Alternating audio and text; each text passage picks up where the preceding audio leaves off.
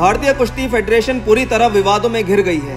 कभी ब्रिजभूषण का रिपोर्टर के साथ घटिया व्यवहार देखने को मिलता है तो कभी विनेश फोगाट के तीखे बयान। ऐसा लगता है जैसे पूरी कुश्ती फेडरेशन को राजनीति ने घेर लिया है। लेकिन अब बारी एशियन गेम्स की है, और इतने बड़े खेलों में हो रही गड़बड़ी भारत को महँगी पड़ने वाली है।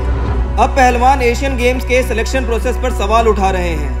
ताज़ा मामला एशियन गेम्स के होने वाले ओपन ट्रायल को लेकर है। दिल्ली के केडी जादव इंडोर स्टेडियम में 22 और 23 जुलाई को अलग अलग वेट कैटेगरी के पहलवानों का ओपन ट्रायल होने वाले हैं। आम तौर पर इस तरह के ट्रायल के विनर्स को गेम्स का टिकट मिल जाता है, लेकिन इस बार ऐसा नहीं होगा।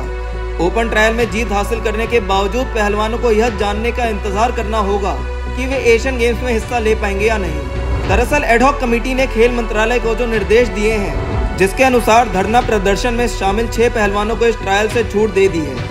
एडहॉक कमेटी ने कहा है कि इन पहलवानों का अलग ट्रायल 8 से 10 अगस्त के बीच में कराया जाएगा। इसमें इनका मुकाबला ओपन ट्रायल में अच्छा प्रदर्शन करने वाले पहलवानों से होगा।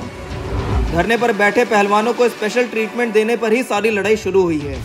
सूत्रों की माने तो एडहॉक कमेटी में शामिल कुश्ती एक्सपर्ट अशोक कुमार गर्ग और ज्ञान सिंह धरने पर बैठने वाले छह पहलवानों को ओपन ट्रायल से रियायत देने के पक्ष में थे।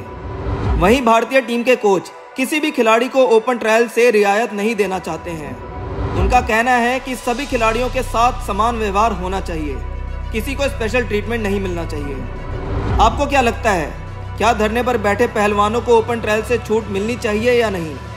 आप अपनी राय हमें कमेंट बॉक्स में ज़रूर बताएँ। इस तरह की खबरों के लिए चैनल को ज़रूर सब्सक्राइब करें और वीडियो को लाइक और शेयर करना ना भूलें।